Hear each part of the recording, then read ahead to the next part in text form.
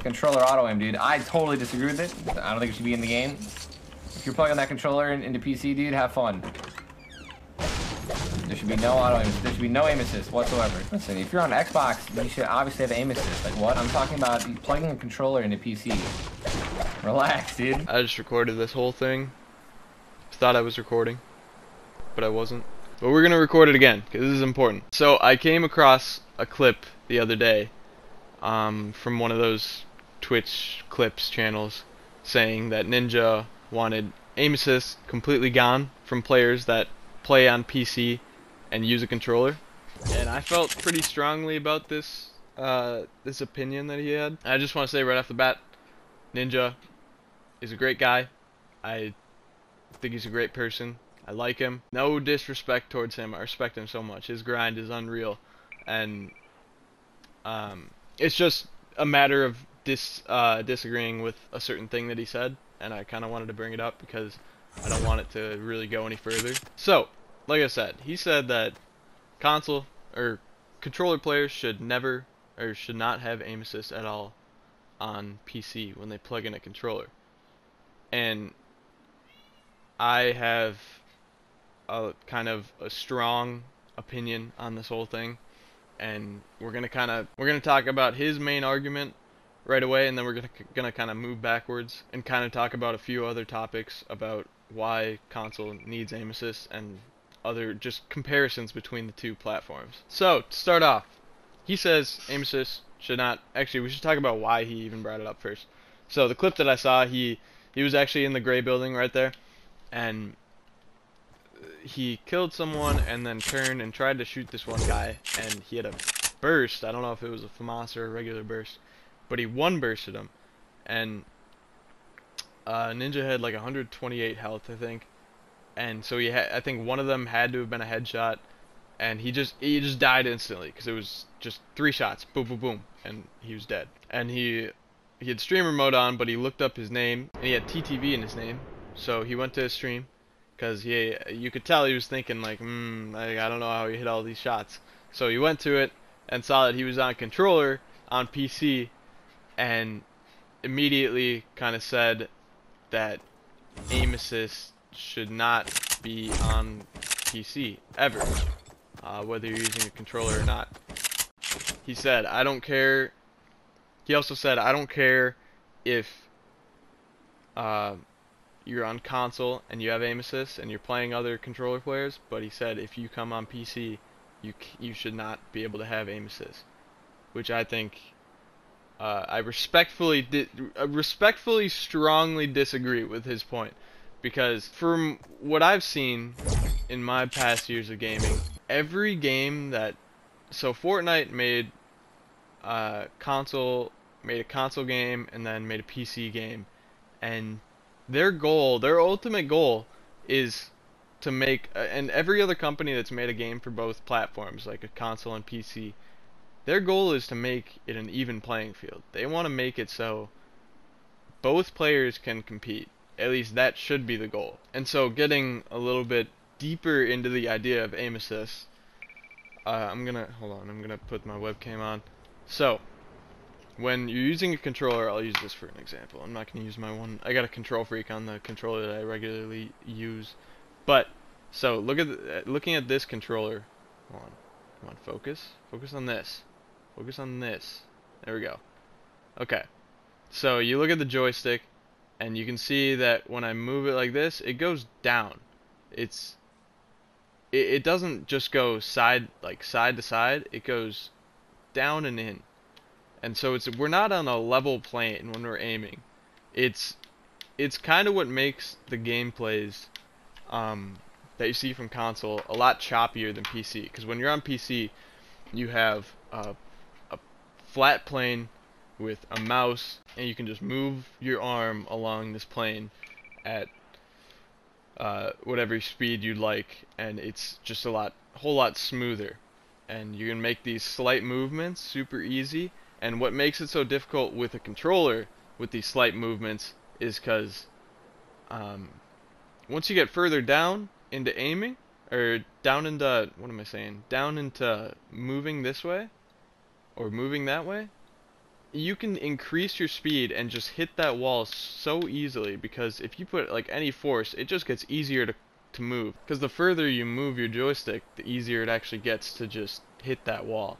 And also, take a look at how long it takes to to actually hit the barrier. It's that's this is our sensitivity. This is how much control we have. Literally just boom, boom. This is like the most important argument. You move that the slightest bit, barely any pressure, and you're going maximum sensitivity speed. You it is so hard to control a joystick at just a smooth like not using your full potential of sensitivity and this is the biggest disadvantage that always will be the biggest disadvantage I would say for console and this is why we have aim assist. So when we're in a fight with with uh, someone like close quarters and pump pump versus SMG because that's that's the meta. Both people have pumps both people have SMGs if we are jumping around and we and we someone while jumping around with this with this SMG, you know how hard it is to keep that slight movement and keep it accurate on the person, and that's why a lot of, a lot of times you'll see someone on console kind of you can you can jump around and but after that, um, a lot of the time they will crouch or just kind of move around and you know sometimes burst it to help with the aim assist and just focus more on aiming rather than actually jumping around because when you add both elements into it it gets to be so hard to track the person with a joystick. The joystick is so hard for aiming. And you might say just lower your sensitivity. You it'll be a lot easier especially if you don't if they did take away aim assist. But if you lower your sensitivity too much, this game is so important that you be able to move or turn fast that all the top console players have a relative, not like a, they don't all have really high sensitivities, but competitive console players are definitely more inclined to choose a higher sensitivity because if they're getting shot from behind, we have a we have a sensitivity cap. We we can't just move a mouse. We don't have a mouse to just move at an insane rate to turn around and build immediately. But on console, so on console, we do have building sensitivity that helps a lot.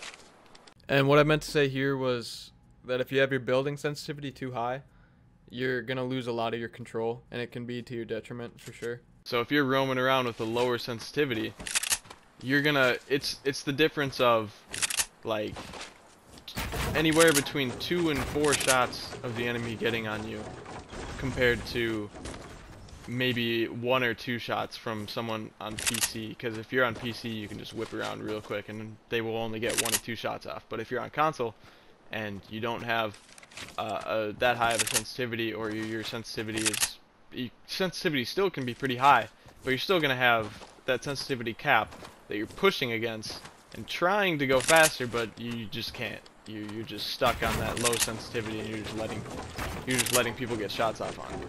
So when we're talking close quarter fights, we do like aim assist is not OP for us. It's really just a matter of we're at such a disadvantage with the joystick. You really got to think about it not as you, you can't think about only the idea of aim assist. You got to kind of take into consideration other things that we have to deal with first and then think about aim assist because the aim assist is really just counterbalancing our inability to to move smoothly and consistently uh, while aiming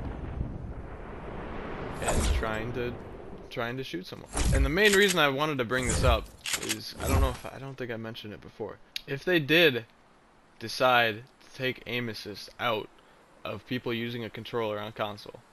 This would make it so you'd almost have to play mouse and keyboard to be a pro and compete in these tournaments because this is it, you have to because they they force you to play on PC first of all at these at the like the skirmishes and everything and these big events. There's so much money going into these tournaments. Close range fights are so important in these tournaments specifically. And if console players do not have the, the little bit of help of aim assist, um, it would it would make the the biggest difference. I I think. And like I said, more most specifically with these close range fights, because at long range, aim assist doesn't really work.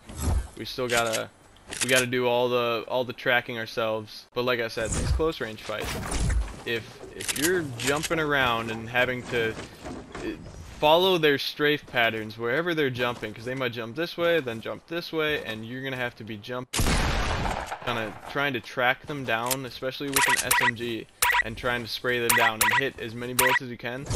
That is so hard to do and being able to if you need to kind of crouch or just stand still or move around a little bit but use the aim assist to your advantage by all means we should be able to do it. And that's kind of where I stand with this. Aim assist is just something that shouldn't go away, and um, it, it's just kind of helps counterbalance some of the other disadvantages that we're at, and yeah.